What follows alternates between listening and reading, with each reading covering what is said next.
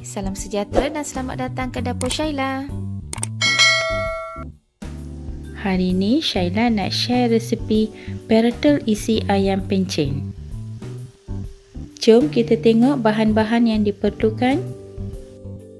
Ayam seekor, kita asingkan isinya dari tulang dan kulit.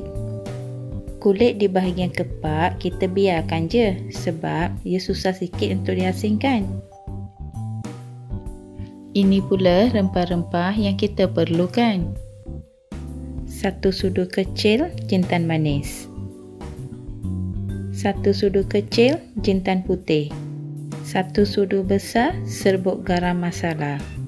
Satu sudu besar serbuk ketumbar. Satu sudu besar serbuk jintan manis. Satu sudu besar serbuk jintan putih. Kayu manis satu batang bunga lawang satu kuntum dan buah pelaga tiga biji.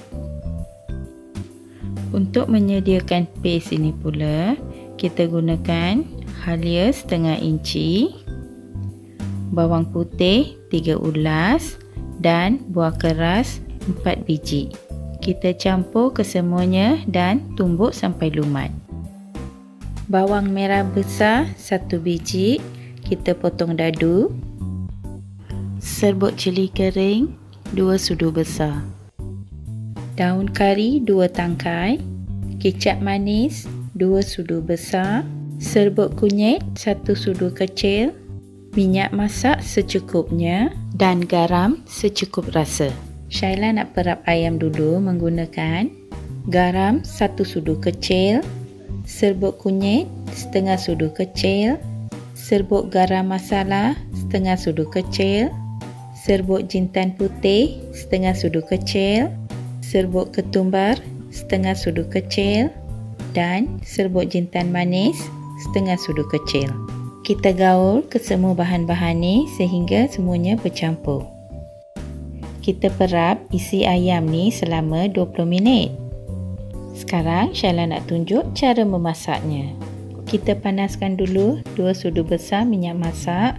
Masukkan buah pelaga kayu manis, bunga lawang, jintan manis dan jintan putih. Biarkan ia naik wangi dan kemudian kita masukkan bawang. Kita goreng sehingga bawang layu sedikit. Masukkan bahan-bahan yang ditumbuk. Kita goreng lagi untuk beberapa minit. Lepas tu masukkan cili kering dan daun kari. Bila semua bahan-bahan dah layu dan naik wangi, kita masukkan baki serbuk-serbuk rempah tadi.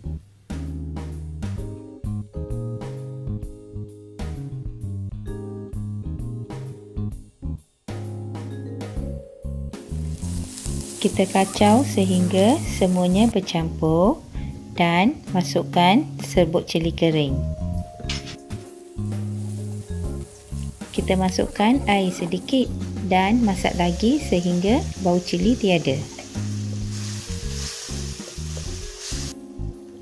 Lepas tu masukkan ayam dan tambah garam secukup rasa.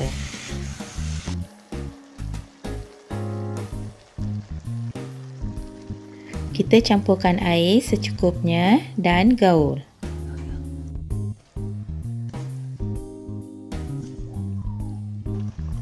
Tutup dan biarkan ia masak sehingga isi ayam menjadi lembut. Bila kuahnya dah pekat sedikit, kita masukkan kecap manis dan gaul. Masukkan daun kari dan daun bawang. Kita gaul sehingga kuahnya kering sedikit.